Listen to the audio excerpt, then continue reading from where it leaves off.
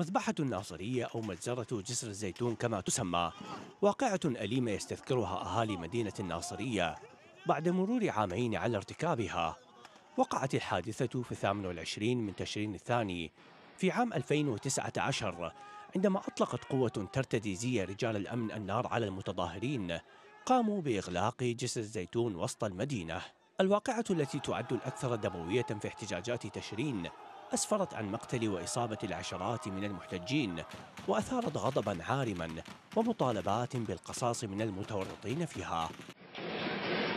ورغم أن المشاهد التي توثق الحادثة كشفت عن تورط عناصر بزي قوات عسكرية بإطلاق النار المباشر على المحتجين إلا أن هويتهم لم تكشف للرأي العام ولم تتم محاكمتهم كما يرجو أهالي الضحايا. اليوم السنة الثانية لمجزرة جسر الزيتون ومن خلال واحد عشرة ولحد الآن بداية مجازر استشهاد ولدنا.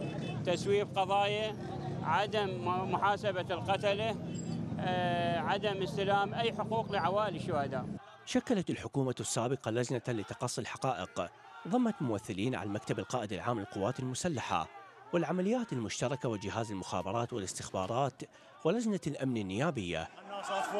وبعد مرور كل هذا الوقت أصدر محافظ ذي قار أحمد الخفاجي اليوم بيانا أكد فيه أن التنسيق مستمر مع القضاء لاستكمال إجراءات محاكمة المتورطين بالحادثة وهو ما اعتبره ذوي الضحايا مماطلة وتسويفا مرور سنتين على الشهداء أولادنا الأبطال الذي ضحوا أنفسهم ضد الفاسدين.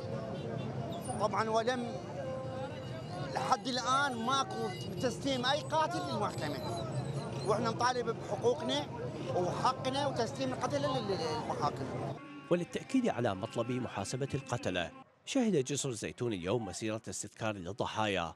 في واقعة مثل السبب الرئيسي في الإطاحة بحكومة عادل عبد المهدي ومحافظ ذي قار السابق وتغيير مناصب أمنية عليا في المحافظة.